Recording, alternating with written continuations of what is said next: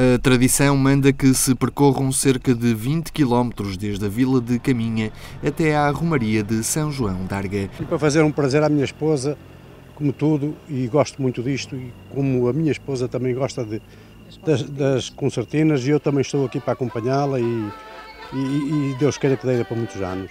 Os cantares ao desafio ouvem-se ao longe no que para quem lá viaja é mesmo a festa mais genuína do país, repleta de concertinas. O que é que esta festa tem de diferente das outras? O que é que esta festa tem de diferente das outras?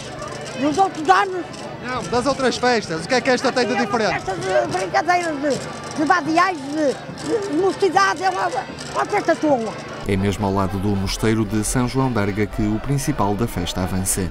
A Banda Filarmónica de Vila Nova de Enha dá o mote e milhares de pessoas celebram enquanto outros cantam ao desafio. Completamente diferente de todas as outras.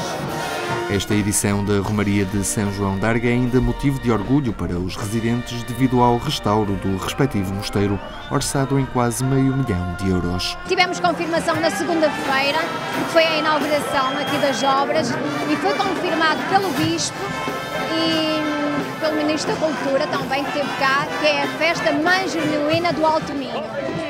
Regada a bagaço com mel, vinho e cerveja a rodos, esta tradição imemorial de fim de agosto tem recebido cada vez mais clientes vindos de todo o país e além fronteiras. É uma festa com que se pode contar para quem regressa de outras paragens. É mesmo só isso que interessa.